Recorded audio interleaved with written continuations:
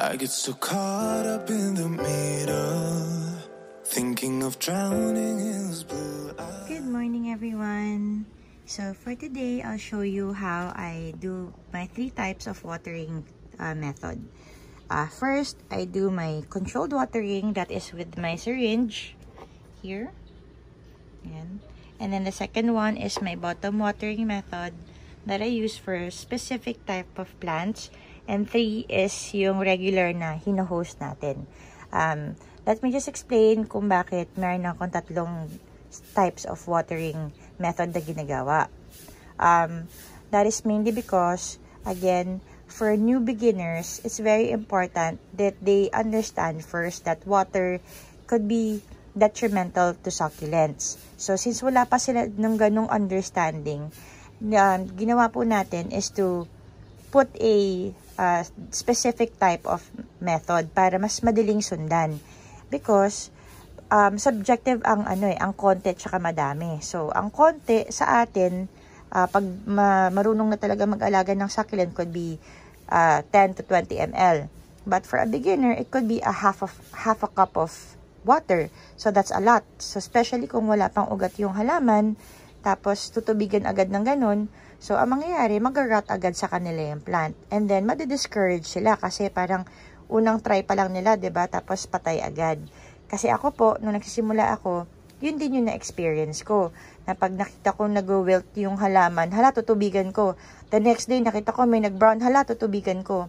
So, learning from my experience before when I was starting out and having no one really to guide me, no, um, it was difficult for me to, nahirapan akong magpa, mag, magbumuhay ng halaman. Kasi yung mga nare-research ko din sa Google um, are based from um, international uh, international care, no? So, may winter kasi sila. So, um, may mga, may mga bagay doon na hindi applicable sa atin. May skeletal or may basic siya.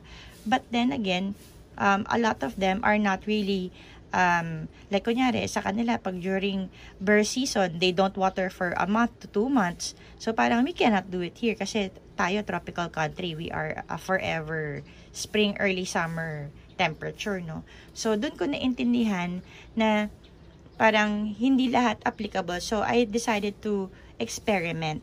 So, yun nga, if you're a beginner, malaking tulong po kasi na mas meron kayong susundan na lang na steps kaysa sasabihin sa inyo na ah, basta konti lang ang tubig para ano hintayin mo mag-ugat.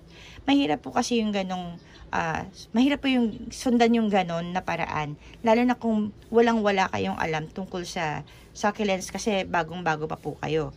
So, yun nga po, ang ginagawa ko sa akin is um, uh, a way to help yung mga baguhan para mas madali nila maintindihan. So, like this one, no, yung aking controlled watering, this one may madiba is, um, ano na yan eh, uh, established na yan. Mag-iisang taon na sa akin yan. So, but I'll just show you how I do it. So, what I do is I, I distribute, let's say 20 ml around the brim of the pot. Never touching the plant, never touching the stem. And the reason behind that is because, um, ako po, ang priority ko is the farina. So, like this one, no, si Orange Monroe ko.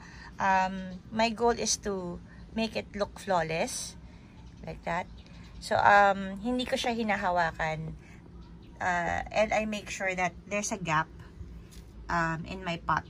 Half an inch to an inch of gap to make sure that I have space to move. And then there's also space for the plant to move.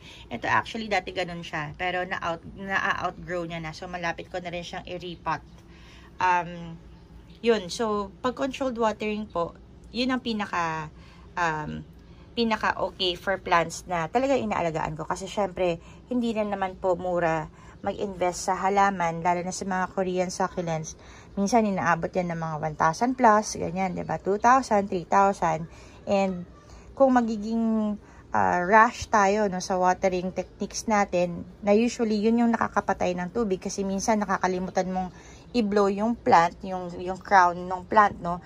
Or may naipit dyan na hindi mo napansin, natulog ka na kinabukasan, naging humid, or naarawan ng konti, ayun, mabubulok po talaga siya. So, para ma-avoid po yung mga unnecessary deaths and losses financially, um, ako po, mas ginusto ko na maging careful. So, that's my first step for, that's the reason kung bakit po um, na-develop natin yung um, controlled watering technique. The second one is yung bottom watering naman po. Ayan. So, ang bottom watering ko naman po, I use this for plants that are severely dehydrated, like this one um, nakalimutan ko siya actually diligan for quite some time kasi nasa back siya ng rack. Um, so makita niyo yung kanyang wrinkled leaves. Also, I use this for plants na hindi pwedeng mabasa yung mismong rosette niya. Like, yung sed sedum dacifa, uh, yung dasyphilum major ko. Like this one. Binabottom watering ko po siya because hindi pwedeng nababasa yung ibabaw niya dahil nag-rot siya agad. Kasi super lipis ng stem niya hindi niya kinakaya yung ibabaw. So, this one, what I do is, I just dip it. I just dip it hanggang sa lumubog siya. Maramdam ko yung lubog or makita ko yung water sa ibabaw. Ayan. So, pag nakita ko na yung water na yan, I'll leave it for a while, like siguro mga 10 minutes. And then, iaangat ko na yan. So, this one, hayaan ko siya dyan. Kasi this one has been with me for a year already. Sobrang hindi, niya, hindi maselan yung uh, baby fingers ko. Ay, no, sorry. Uh, baby toes? No, baby fingers. Yan. Ah, sorry. Baby necklace. Ayan. This is a Crasula baby necklace that I got a year ago. Um, yun. So, I leave it there for um, 10 minutes and then babalikan ko na lang siya afterwards. I let her soak for a time. This one naman, again, it's not applicable to all uh, succulents kasi uh, merong ding mga succulents na hindi malakas ang need nila sa water. So, you only do this uh, method for those na fast growing um, and dun sa mga malalakas sa tubig, sa tubig talaga. Like, Corpuscular lemani, pwede mong gawin yan sa kanya. Um, tsaka itong sila Crasula baby necklace, mahilig yan sa tubig. Actually, yan. So, yun lang po yung mga differences. Kailangan din talaga aalamin natin kung ano yung mga specific needs ng mga plants natin. And it will take a while. That's why, ang, ang general advice natin is to still go for the controlled watering.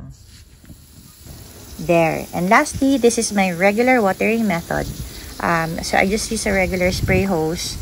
And, um, hindi naman sa dahil hindi ko sila favorite, no? It's just that, syempre, uh, mas malaki yung financial investment sa isa kasi mga imported uh, Korean succulent sila. Ito naman kasi, I need to do this because it's too much for me to handle kung front and backyard ko, eh, i-controlled watering ko. Hindi naman din siya eh, practical, ba? So, I water them this way because full, uh, fully established sila. This is their second summer. They can take the heat uh, open air siya. So, kahit na full summer heat, um, naka-expose lang sila.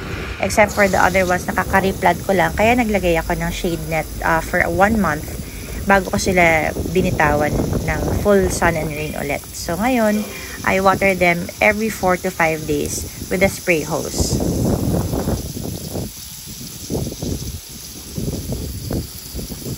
Okie dokie.